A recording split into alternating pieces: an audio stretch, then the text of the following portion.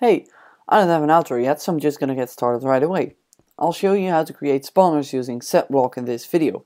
Even though there's the summon command now, spawners are still pretty useful actually.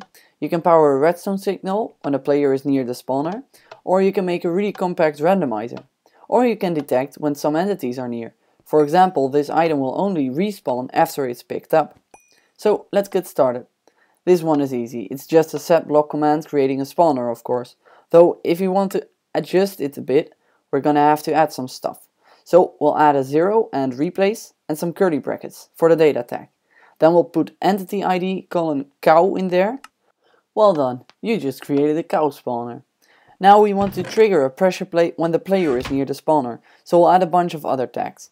We'll make it spawn an XP orb and set spawn count to 1, so it's only spawning one entity. Set spawn range to 1, and if you want you can also set delay to 0, but it's 0 by default so it's not necessary.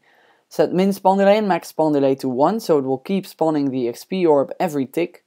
Max nearby entities is going to stop the spawner when there are too many entities near, so we'll just set that to the highest number possible, 32,000. And we'll set required player range to 5, but you can change that depending on what you are using the spawner for.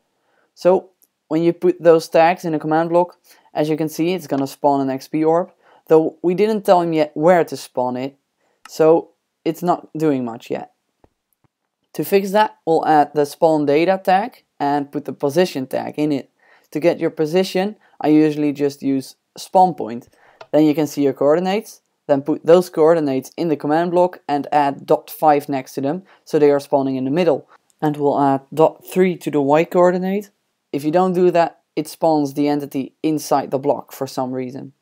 We'll also add age and set it to 5999 so the XP orb will despawn immediately. You're probably thinking, why don't you just use the testfor command? Well, if you have a lot of clocks running in your world, like this one, that will make your world laggy. But if you really want to use testfor, you can also use a spawner that triggers a clock, and then use testfor. Now it will get a bit more complicated, but it's really useful. I'll show you how I did the randomizer.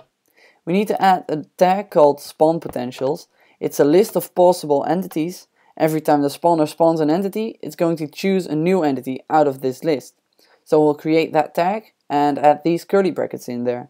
In the curly brackets, we'll put type, that's basically just entity ID, but with a different name.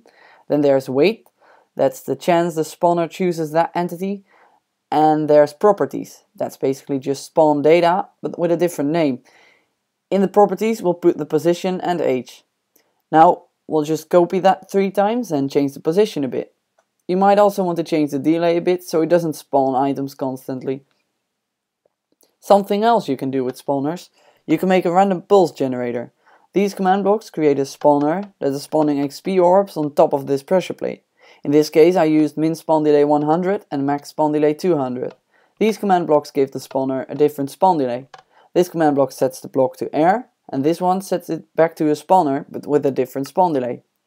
The reason why I did it like this is because when you use replace or keep it says the block couldn't be placed and when you use destroy it's actually breaking the block and that will drop some XP just like ores do. I used to use items on top of pressure plates, but they will cause these error messages in your console. Now, that isn't a huge problem, but it will also increase your memory and eventually it will make the game unplayable for some reason. So, don't use item spawners. Though, sometimes you really want to spawn an item using a spawner.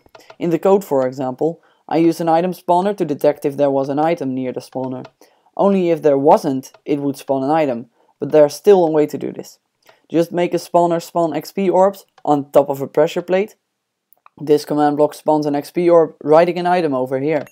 This way the spawner still stops spawning because there's an XP orb near it. You only have to change a few tags, the min and max spawn delay, the max nearby entities, and the spawn range.